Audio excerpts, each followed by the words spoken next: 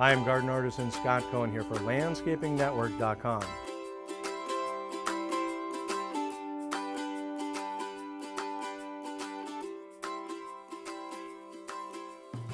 Anytime we're discussing the installation of a patio cover, there's always a debate on whether it should be an open shade cover or a solid roof cover. Now, the thought is that the solid roof will actually provide more cooling, and that actually isn't always the case.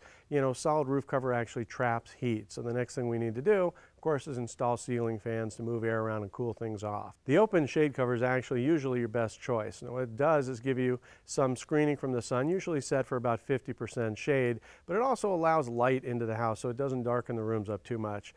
On this particular project, the client wanted to have a lot of shade. Now what we did is we put a 40 by 14 foot open shade uh, patio cover at the back of this. We extended the loggia that they had, which had solid roof cover, with 4 by 4 lattice work on top of the uh, rafters and beams. Now I cut the architectural detail to match the corbels that are on the back patio cover and the post for the patio cover itself is actually uh, stuccoed columns to match what they had existing on the property. So the idea behind any of the work that we do, we want it to look like it was always part of the original plan and match the architectural style of the house.